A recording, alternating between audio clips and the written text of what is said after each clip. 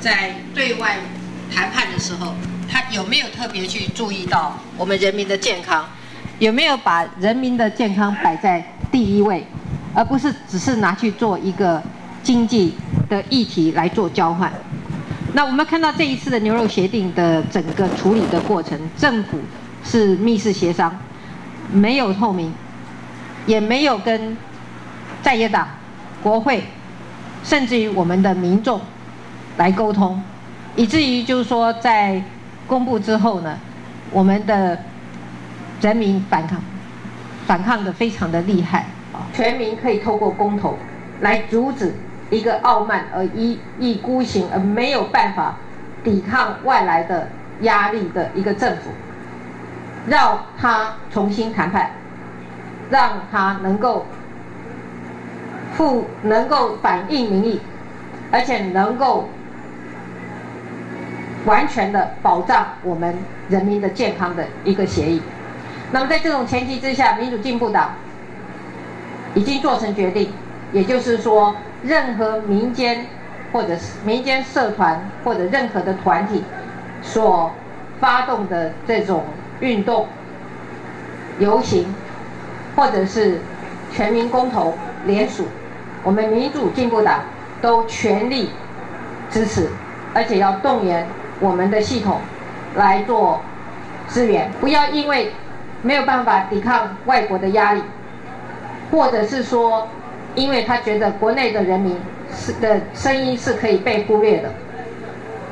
而不愿意去重启协商，用种种的理由来阻扰这个协商，这样子不但会损害了政府在人民心里的公信力，以及人民对政府的信赖，也会对美国的业者。在台湾的牛肉市场的利益，其实是一个不好的影响，这是一个两败俱伤的做法。作为一个政府，在对外谈判的时候，他有没有特别去注意到我们人民的健康？有没有把人民的健康摆在第一位，而不是只是拿去做一个经济的议题来做交换？那我们看到这一次的牛肉协定的整个处理的过程，政府是密室协商。没有透明，也没有跟在野党、国会，甚至于我们的民众来沟通，以至于就是说在公布之后呢，我们的人民反抗，反抗的非常的厉害啊。那我们再看一下这个协定，其实它只是一个启动协定，换句话说，它是一个过渡协定。它这个协定在一百八十天之后。它很可能经过双方再一次的呃协商以后，就会全部的开放美国的牛肉进入台湾。那换句话说，这个协定已经是替将来全面开放美国牛肉已经打下基础。而我们也看这个协定，它的很多的这个呃条文都没有像韩国的协定一样。不但有限定一百八十天，哎，对不起，一百八十，嗯，就三十个月以下的这个呃牛肉的这个呃限制之外，它也没有，它也没有有类似于韩国的条文，有很严密的风险管控的机制写在条文里面，以至于就是说我们的主管机关要采取风险管控或者是管制的措施的时候，它都没有。在协定上的根据，所以我们觉得这一个到现在为止谈到现在为止，这个协定对我们全国人民最大的风险在于：第一，它没有一个严格的经双方协议的一个非常严谨而细密的风险管性的机机制；第二，它其实是很仓促的，要在一百八十天全面的开放我们的牛肉。市场给这个美国，那么在这种情况之下，我觉得民间的恐慌是必然。我们现在很多的民间的质疑是正当的，是正确的。那我觉得人民在恐慌之余，都忘掉了自己其实是有一个权利，也就是说，全民可以透过公投来阻止一个傲慢而一意孤行而没有办法抵抗外来的压力的一个政府。让他重新谈判，让他能够复能够反映民意，而且能够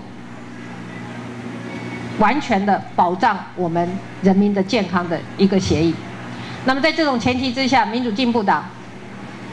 已经做成决定，也就是说，任何民间或者是民间社团或者任何的团体所发动的这种运动、游行，或者是全民公投联署，我们民主进步党都全力支持，而且要动员我们的系统来做支援。那么。嗯，消基会所提倡的这个全民公投，我们民主进步党是全力的支持。那么，我们也要求我们所有的党公职，还有我们的党员，都一起来参加联署，让我们这一次的这个联署，可以在很快的、很短的时间内完成。那么进入到我们下一个联署的程序，那么在下一个联署的程序，我们也会尽全力的来支援。但是我们在这里要向政府提出严重的警告：重启谈判是一个国际协商的一个常常有的事情，不要因为没有办法抵抗外国的压力，或者是说因为他觉得国内的人民。是的声音是可以被忽略的，而不愿意去重启协商，用种种的理由来阻挠这个协商，这样子不但会损害了政府在人民心里的公信力，以及人民对政府的信赖，也会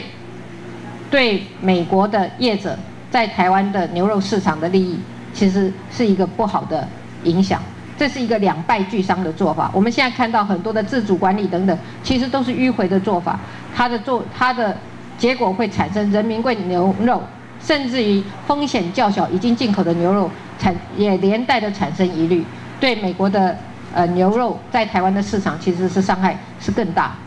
所以这是现在政府在做的是一个两败俱伤的做法，正本清源的做法。就是重新谈判，把所有的事情都一并处理，而且完整的处理，而且谨慎的处理，这才是一个最安全、最负责的政府应该做的事情。